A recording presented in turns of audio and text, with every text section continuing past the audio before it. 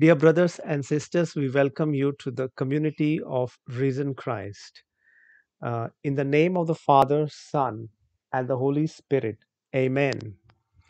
Today we are going to reflect on God's glory in a dark world. Let us begin with the scripture James 3 5 to 6. The tongue is a small thing, but what enormous damage it can do.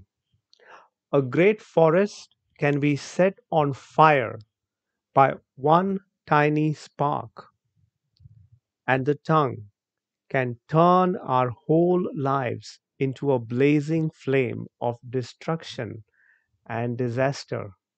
James chapter 3, verse 5 to 6. When we lack self control, we are vulnerable to all kinds of problems. Anything out of control in your life can harm other people and damage your close relationships. Uncontrolled anger, lust, addiction, spending, drinking, or ambition can create enormous problems. But the greatest destroyer of relationships is an uncontrolled tongue. That we know that an average person, an average person has about 30 conversations a day. Now that was before pandemic quarantine. But if it is true, that would mean we spend around one fifth of our lives talking. So at some point, your mouth will probably get you into trouble. That is, the odds are against you. James compares the tongue to a tiny spark because that's all that is needed to create a great forest fire.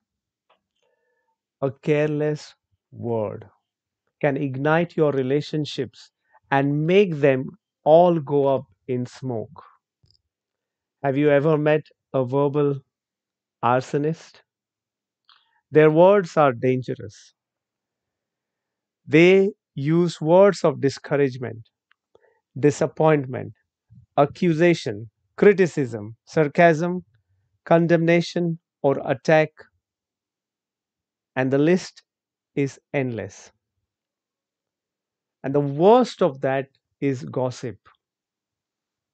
That is especially destructive because gossip spreads like an airborne virus.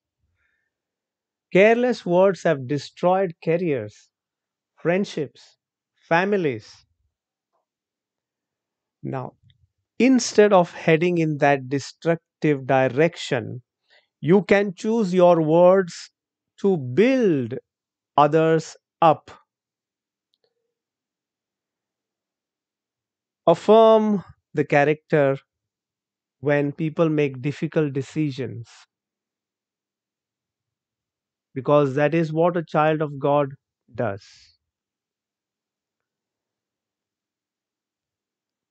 When you catch people doing something right, tell them about it. Lift them up with words of encouragement. Dear brothers, dear sisters, dear friends, youngsters, and children, building others up with your words is not at all difficult. But in the world that we live in, it is uncommon, not common. You reflect God's glory in a dark world when you control your mouth and build others up. And before we conclude this wonderful talk and the directive from James chapter 3 5 to 6, we ask one question Why is gossip so destructive? go through this video once again and plan an exit strategy. Take a decision today to avoid gossiping and to avoid participating in any gossip. Remember, build others at all times, and it is easy. In the name of the Father, Son, and the Holy Spirit. Amen.